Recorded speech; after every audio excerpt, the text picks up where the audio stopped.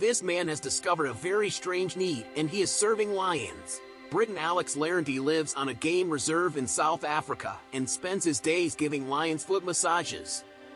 One day, he discovered that every time a lion applied a cream to cure an infection on its paws, the lion would slacken and appear to smile. Since then, he has massaged all the lions in the park on a daily basis.